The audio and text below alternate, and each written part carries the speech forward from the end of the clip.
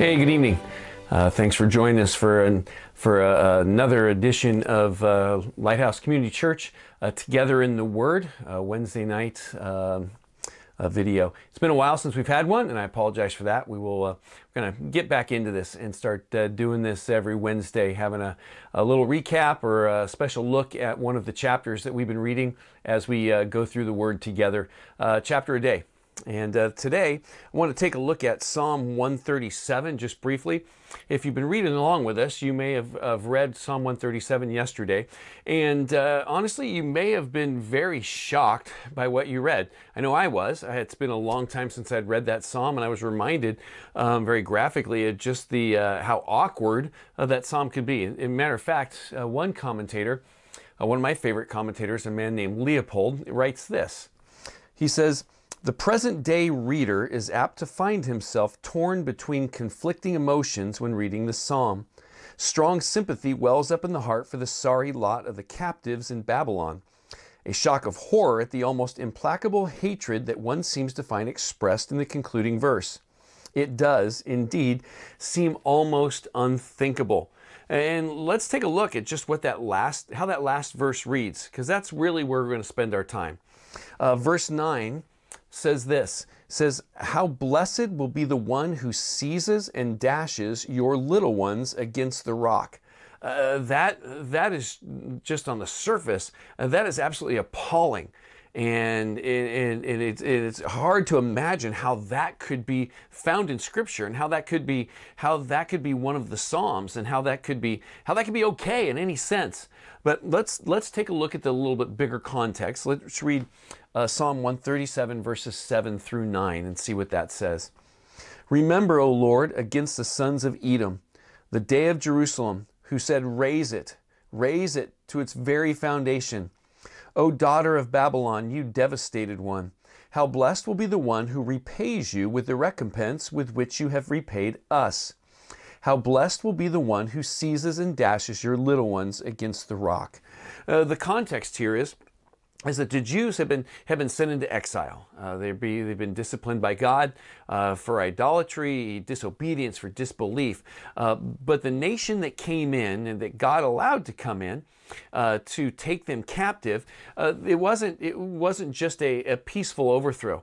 Uh, Got to understand that the nations during this time, the surrounding nations, the nations that uh, that that the Jews were supposed to be a light to and to and, and to reflect the, the glory and greatness of God to, um, these nations were evil, hateful. Um, totally corrupt people. They were violent and they were evil.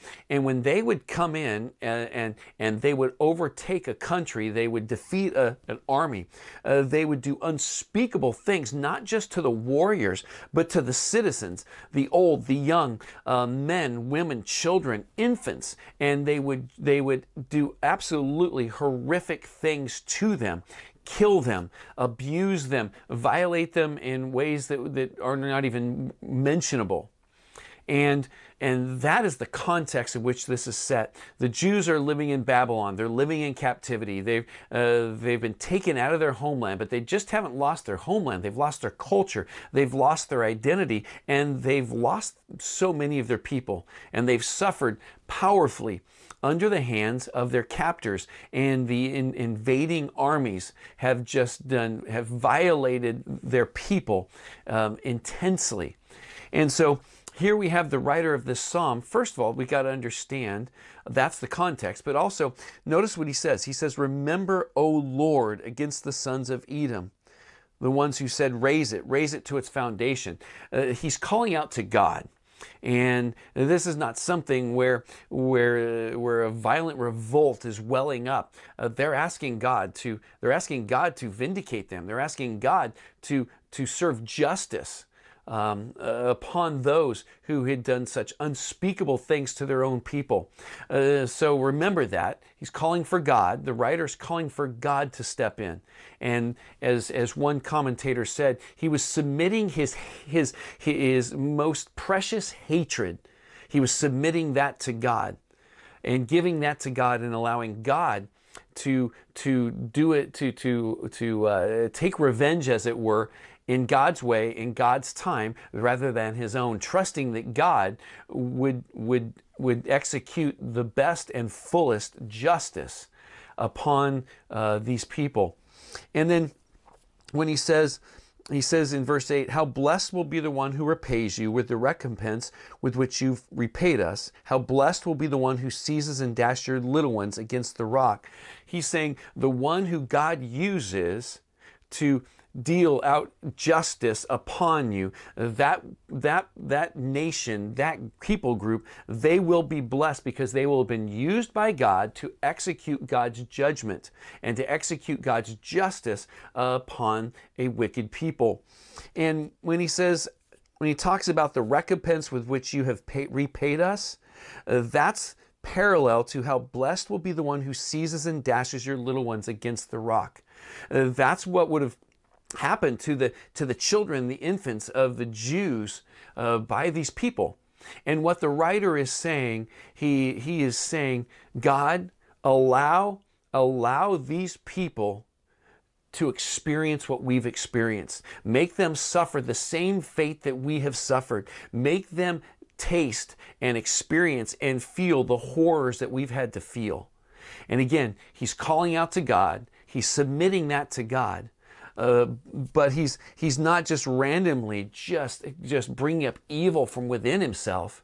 He is calling for God to do to them what they had done to the Jews and that was and that was that that was the way of these armies and these nations in the uh, during this day. That's how they when they would invade a country that's what these countries that's what these nations these people groups would do.